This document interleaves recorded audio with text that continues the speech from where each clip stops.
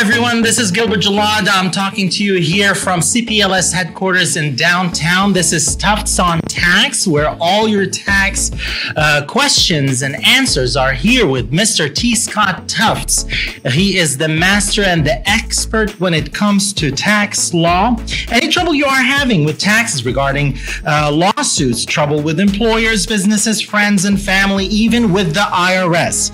Your peace of mind here, right here with Mr. T. Scott Tufts. He is the he is the expert. So, guys, folks, do not hesitate to ask, ask the expert here uh, when it comes to tax law. You want the expert to answer your questions.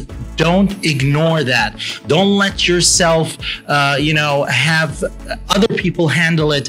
Let the expert handle these problems. And uh, we are back today with a with a special uh, episode with a special guest. We have Hallie Zobel today. Uh, she's a estate planning and probate uh, uh, lawyer attorney. Uh, so we are gonna ask her a few questions about tax law and how does does it impact her practice? Hello scott. How are you? We are back. Good to be with you gilbert. Good to be with you too uh, as always. And uh, i don't want to uh, talk too much about the interview today but we are interviewing a special guest. Yeah, we as in this segment, uh, Gilbert, we try and get uh, into the practice areas of others see how tax impacts them, and then give a chance to uh, learn from them and, and help our audience get to know them and uh, see how taxes impact what they do. Yes, absolutely. And I bet it's going to be a very interesting episode. So we'll uh, go and right back with uh, Miss Hallie Zobel. All right. Well, I'm honored today to have with me a colleague, uh, Hallie Zobel probate and estate planning attorney, uh, someone I've gotten to know uh, recently. Um, welcome, Hallie. Thank you. Yeah, so it's uh, awesome to get a chance to talk to someone and uh, like yourself. Um, I've looked at uh, some of your background, and what fascinated me was you um, have worked with clients with families with special needs, singles, young families with small children, same sex couples, families, and seniors with uh, end of life issues. And um, it's a chance for us to talk a little bit about it. Why don't you take a moment, Hallie, and talk about how you ended up being a state planning attorney? Okay. Um, I was a criminal defense attorney and had a very bad day in court and decided I would make a change. I was scheduled to go in front of a very tough judge. My client had both physical and mental disabilities, and he was bringing a video camera into the courtroom. And I had visions of the judge tossing him into jail, and he announced he was going to video his entire trial. That case ended up getting rescheduled to another day, and I walked out the courtroom and said I had had enough and I was going to move to a new area of law, a kinder, gentler law. How about that? So, um, interestingly enough, so you you you got in a, a moment there where you looked at capacity issues, right? And and us lawyers, we we worry about our clients that have diminished capacity or they're vulnerable or other such things. Uh, um, talk a little bit about what that's how that's gone since that time, since you've gotten into this area of the law. Well, I think every attorney has to be concerned about capacity, no matter what age their client is. The client could be suffering from mental illness, and um, you must always be aware and on the lookout for those issues. So it's not necessarily the elderly, but with the elderly comes a whole new set of problems where they truly could be having organic uh, brain issues going on and things going on because of their age and the uh, aging of the brain. And you have to be real careful and make decisions of whether or not you believe they have capacity. Interesting. So one of the things that occurred to me recently is, you know, in this era where we we Zoom and we talk electronically, um, can you talk a little bit about how important it is from your vantage point to talk to clients in person versus what you see over the phone. I, you know, I think about prosecutors and concerns folks have about seeing body language or seeing these. How are you adjusting to that? Where you're and how are you meeting with clients uh, in the in the world that we're in today? Well, with the older clients, I almost require it to be in person and not by Zoom. Don't the experts say 80% of what we, 90% of how we communicate is through body. Mm-hmm. And so you lose a lot of that with the uh, Zoom um, video, I think. So I definitely like to be in the room when it's an elderly client so I can evaluate and make determinations of if they're following my conversation or with their eyes, if they're tracking me or whatever it may be. See, that's awesome. So, um, one of the things I noticed in here that um, struck me, and maybe it's just because. Hallie, what we do on Tufts on Taxes, we we try and look at uh, some of the forms and taxes that um, can lead to surprises for folks, you know, litigation and whatnot. And I noticed that uh, you volunteered at one time in a local nursing home and your bio, and it got me thinking a little bit about um, caregivers in the home and 1099s and independent contractor and and uh, how when they come into your home, maybe they're almost uh, Schedule H employees, as as it were, and and they and maybe 1099 isn't the way to go, or cash under the table. Any any quick thoughts about that? Well, I have personal experience of that about eight nine years ago when my mother was sick and brought in um, caregivers to help uh, with her. And we followed, we went to the CPA, and my parents and I, and followed their advice and recommendations when making those determinations how the that help was going to be classified. See, that's awesome too, because one of the things we're trying to get the word out is yeah, you can go get someone to do a tax form or you can hit a button and it might get electronically done. But with so many questions on these tax forms, so much detail, so much data gathering in all these forms, uh, kind of important to get to a competent, qualified accountant, right? Someone that uh, is a professional. And you see that in your practice as well? Absolutely. And the CPA was so invaluable with us because he also advised us of what type of um, medical care could be used when we needed um, deductions come mm-hmm. tax time. And he was right there along with us as we were making those expenses of what could be used and what couldn't be used. So it was very helpful as we navigated through that.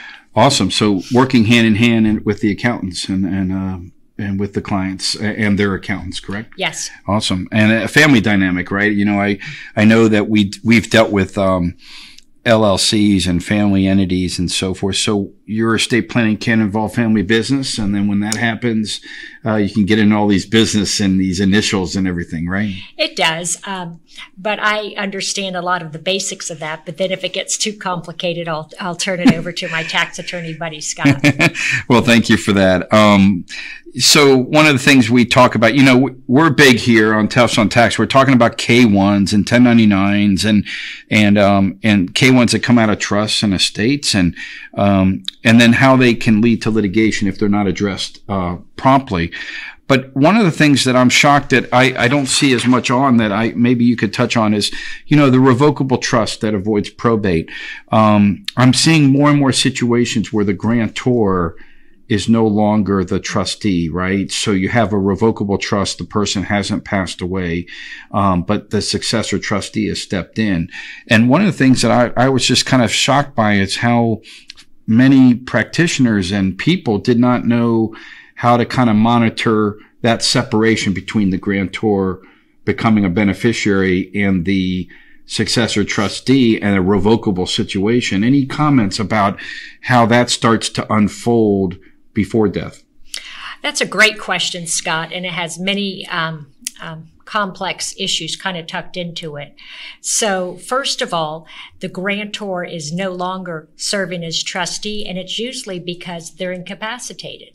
And our trust, we draft specifically to say what is the definition of in, definition of incapacity and when can the grantor no longer serve. So yes, a successor or next in line trustee then begins to serve and it becomes the statute's still not very clear. And even between we practitioners, we argue about whether at that point the trust has become irrevocable mm-hmm. uh, because it could be that the agent under power of attorney could make changes to the trust if the trust is allowed to do that. So, successor trustee, you're still, the taxes are still going to be taxed under the grantor's social security number, but it causes a duty. Does, and the trustee's going to need to know do you need to notify the qualified beneficiaries of this? Who is your duty to? Your duty is to the grantor as trustee. See, that's awesome because um, in the arcane world of um, of LLCs and and you know and you you might have a small number of owners in a LLC of members, um, but if the membership interest gets put into a revocable trust, it suddenly changes how that entity gets audited. And many folks don't know that. So, for example, if we looked at the K1 out of a, a three person LLC and one of the interests is in a revocable trust, it's technically the situation where the the member is the revocable trust by title. And then that technically creates a, what we call a BBA partnership, the old TEFRA partnership, which then creates the complexity of having to use a particular person to handle the audit of the entity. It used to be tax matters partner. Now it's called a partnership representative. And I think how many people know that? People don't know that. And it sounds like the CPAs and the drafters of the business documents need to communicate with the estate planning attorneys. 100%. And I think that's, uh, so much of a collaboration that needs to happen more, right? Than, yes. than it maybe does. Um, the other thing I wanted to talk with you about is, um, you know, Hallie, we want to see situations where the tax issues come up and maybe they're not resolved. Um, one of the things that comes up is the foreign bank accounts. So you have more and more clients that have international travels. Maybe they have international dealings or families from out of the country. Um, can they walk into or inherit these international situations and then how do you how do you deal with that so for example i think of the example where um, maybe the matriarch or patriarch of a family has a, a lot of money overseas.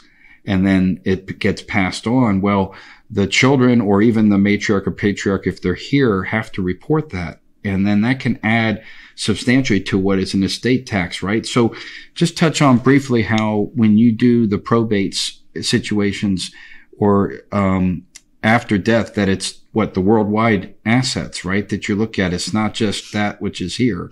That's right? correct. And living here in Orlando, we are just a smorgasbord of international persons. People from all over the world live here or own property here. So a lot of times it's divvying up and figuring out what are the assets here? What are the assets overseas? Um, the benefit or even living in another state, whether that beneficiary is going to have to pay taxes or inheritance taxes, which our state doesn't have. So when we look at a beneficiary overseas, it can become quite complicated. I certainly am not well versed on what the law may be in another country. So I advise them that they've got to get their own advisors, their own CPAs, because I technically don't represent the beneficiaries. My job is to represent the um, personal representative and make sure he or she does everything within the um, bounds of the law. But I haven't had too many of those cases mm. where um, we've had foreign beneficiaries. Um, obviously, I can't handle probates out of the state or out of the country, but I've not had many come across um, my desk. So, uh, one thing may be great for our listeners to know um, if they have a will from another state and then they come here and don't update that will. Now we want them to, but if they pass away, it can be probated here. It's just a concern whether it's been properly adhering to maybe Florida law. Is that the right thinking? Absolutely. The will must be authenticated. I have three or four of them going on now. One will out of Tennessee, one will out of Maryland, another will out of North Carolina. And these people move to our state but don't have it reviewed by a Florida attorney. And if there's any takeaway today on interstate movement and takeaway from the listeners, we want them to have the will checked out and reviewed by a Florida attorney. If it complies with Florida law, I'll tell them that. I'm not mm-hmm. going to have them get a new will if they don't need it. But so many times the wills are drafted differently, 50 different states, 50 different set of rules rules and it does not comply with Florida law. And then we have to jump through additional hoops, which means more expense to you listeners out there to get the will admitted to court. And that gets me kind of maybe to the final point we can cover today, which is, you know, Hallie, what happens when a daughter or son comes to you and wants to help their mother or father get the estate planning done? Um, they come to you. They hi- they're essentially hiring you, but they're really not your client. Um, and then maybe there's children in other states, you know, and siblings. How do you handle those dynamics to make sure that uh, the planning you're doing is acutely for the the mother or father or for the child if if they've got the issues. What what happens that's there? a great question and it happens more frequently than not you'd be surprised. I make it very clear from the onset who the client is. I immediately kick out all family members from the conference room not necessarily popular with the children but i have candid conversations with the person to make sure this is what their desires are. There's case law out there, and we attorney geeks talk about the case law. But the reality is, if you're a layperson out there, you even something as little as driving your elderly father to the attorney's office could be considered um, influencing your elderly father. Setting up the appointment could be considered influencing your father uh, using your attorney instead of selecting an attorney for your father letting him selecting. All these are indicators of possible undue influence. It's interesting because I know some states don't have an aggressive posturing of statutes to protect the elderly from exploitation. Florida, of course, pretty yes. robust protections for our elderly. A quick comment about that? Just uh, in the last couple years, there's been new legislation passed uh, involving in actually being able to get injunctions enjoining people from hassling or stalking or exploiting elderly people. And that can go hand in hand with the guardianship, which is my area of practice generally when someone doesn't have advance directives. But Florida has done a really good job. In fact, Florida prosecution offices now, they even have um, elderly elderly divisions, which they didn't have when I was a prosecutor 25, 30 years ago. So, because of the aging population of our state, we've really, uh, our legislation has really turned a bright light on that. And I'm pleased that these new laws have come into effect. So, in, in a parting way, what kind of things can you tell our listeners to?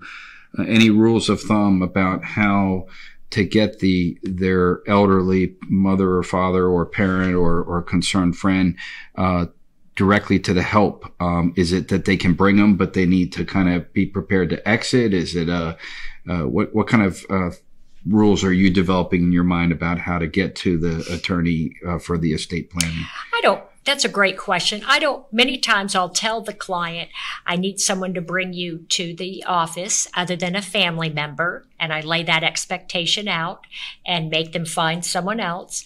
I'll say, okay, a family member can drive you. I'll speak to the elderly person on the phone myself prior to the family member or children coming in.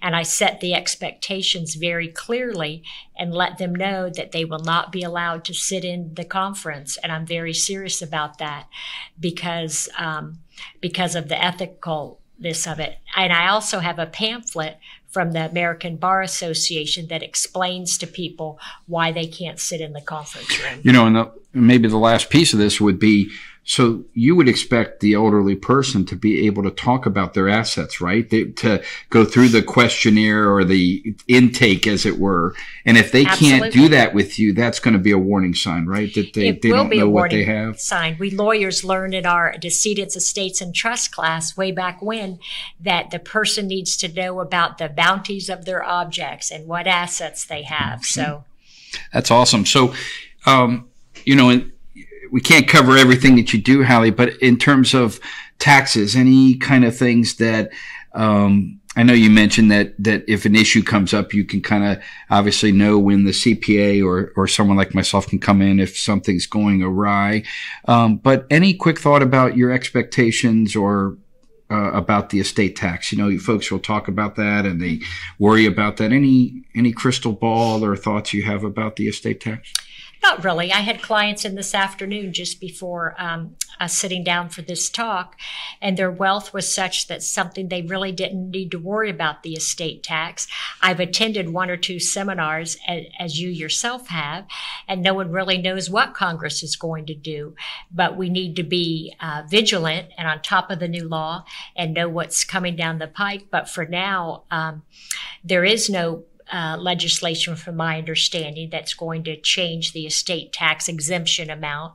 For now, maybe we need to look more into capital gains tax and pending legislation as it affects capital gains and things of that nature. Yeah, and, and, and again, this will be the last question. Uh, gift tax. Talk a little bit about the annual exclusion kind of amount. I think the old days it was ten thousand, but just talk a little bit about why that number is important. You know, for what folks give each year to a particular person compared to why it matters if this estate tax is so large. What what's what do you do if you make a gift of more than whatever you're allowed to do? Well, what the average person doesn't realize, Scott, is that they are supposed to file a gift tax return anytime they gift a certain amount of money, even if there's not a tax that needs to be uh, paid. And the average person doesn't realize that. Is the gift tax exclusion amount is it 15,000 this year? Yeah, it's like gone up, right? So I'm not, not sure, but you're allowed to gift that in addition to that in addition to gifting your lifetime amount. So it's important to keep records on that because when you notify the IRS, and this is more your area, that sets up a statute of limitations, if I'm correct. Right. So you can uh, show that very clearly to the IRS that these gifts were given and if there's any problem later on. You know, in the last part of this and some of this litigation that uh, we get into the questions of their gift tax returns or declaring that they made a gift versus something else in a family dynamic with guardianships and fighting going on and whether gifts were made or they were loans or whatever, all that's going to be part of that dynamic to record properly what, what families are doing, right, in their interactions. Absolutely. So the takeaway is see the CPA file the gift tax return. That's awesome. And uh, talk about digital records for a minute. How do they come up? Digital records don't come up too often, um, at least with my older clients. The younger clients, I think, are dabbling into it and um, and considering um, the cryptocurrency and things of that nature, but really not so much with my older clients. And talk about crypto. What's uh, what are you seeing? What are you what are you starting to worry about in estate planning? Well, the valuations of these uh, bitcoins and how do we make the valuations when we have to show to the court an inventory and what the values are? So what why is it difficult? I mean let's take our listeners who are not aware of that uh, they're new to it or something. What do you start to ask them or what what are you doing now about that? Well, I'm working with the CPAs on this to to guide me and guidance to see so we can come up with valuations because as a fiduciary, the personal representative or executive has a duty to let the court know what is in the estate and likewise let the beneficiaries know this is what's in the estate. And are they capturing a date of death? It seems to me can I isn't isn't it just as simple as okay uh, at date of death we we have a marker and a time to value it or is it that it's changing so quickly that is it literally the down to the second of when you die or what what's going on with that these are great questions and the the legislation hasn't been passed yet and caught up with our very old antiquated laws and as of now it's date of death but it's it's a myriad of um, of problems. Interesting. And, you know, our listeners know from Tufts on Tax that the 1040 tax form has a yes no question on it now, Hallie, that says, are you or are you not trading in, in the virtual currency, which is you know Bitcoin. And my concern is is that that yes no you you check no and you're and you've got Bitcoin going on, then that can expose you to criminal. No different than the yes no box for uh, the foreign bank account signature authority. So we're trying to get the word out that, that you've got to answer yes on that box. But that then reminds us all that the IRS is gathering that data, trying to figure out what they're going to do with with regard to the um, taxation of it. And so what you're telling me is on the probate side, that's happening as well. That that's yes. a developing situation. Um, and any other comments? You know, anything else that's developing in your practice that is kind of cutting edge, or things that are happening that uh, you want our listeners to know about? Nothing much cutting edge, but I want the listeners to know about uh, what the duties of a fiduciary relationship are. And when you're appointed trustee or personal representative, Florida uses the term personal representative, uh, that word fiduciary is a very high duty. It comes from the Latin term fiducia, which means trust, and the person holds a legal or ethical duty to someone other than themselves in relationship and holds holding assets. So it's a very high uh, duty, and we want to make sure our clients do what they're supposed to do and follow within the. I've heard it law. said that even one dollar can't be put in the pocket of a trustee. Is that is it that literal or what? You know, You've heard what? that it's even you know they can't even take a dollar, right? That they have Oh, the that- highest that's right. of honor, and that that that's uh, they're not supposed to even do that. Is that That's the kind of right idea? That's correct. Okay, and you know, and um, I think it's a big burden, right, to make sure that um, they adhere to that fiduciary duty. Signing tax returns would be to make sure they get the best advice to do that. Likewise. So, well, Hallie, this has been awesome. And, you know, in going forward, what um, we at Tufts on Tax are trying to do is, like I said, get the word out on the um, taxes. You know, we've got cryptocurrency, we've got digital records to be talking about. We've got so much, and I look forward to a chance to talk about some of that as uh, things develop and bringing you back. If if you would come back, we would like that very much. Well, thank you so much, Scott, for having me on your show. I'm, it's an honor to be here, and hopefully the clients that, excuse me, the uh, listeners will have some takeaways today. Well, if you want to get some estate planning and probate questions answered, certainly uh, reach out to Hallie here at CPLS. You can call and reach her at 407 647 7887. Ask for Hallie. Uh, she is. You know, certainly well positioned, very much qualified to answer your questions. And we look forward to uh, talking to you again on Tufts on Tax. This interview was uh, wonderful. Uh, what do you think, uh, Scott? Yeah, I think it was excellent. Uh, great chance for us to talk with Hallie, get to know her practice, and uh, look forward to her talk. Look forward to talking to her again. Yes, and and, uh, and other attorneys. Uh, Yeah, well, in this segment, it's a chance to break from the monotony of tax. Uh, tax touches everything, and it gives us a chance to talk to some folks who do other things and see how tax interacts with what they do. Absolutely. There you go, folks. If you have any questions, uh, any lawsuits you are experiencing, please don't hesitate to call the expert here, Mr. T. Scott Tufts. He will help you. He is uh, an expert in this uh, practice. Uh, any tax law issues, call 877 647 7887. Again, that number is 877 647 7887. If you're watching our YouTube channel, it will be on the screen. You can also email him at stufts at cplspa.com. Again, that S T U F T S at cplspa.com. Thank you, and we'll see you next time.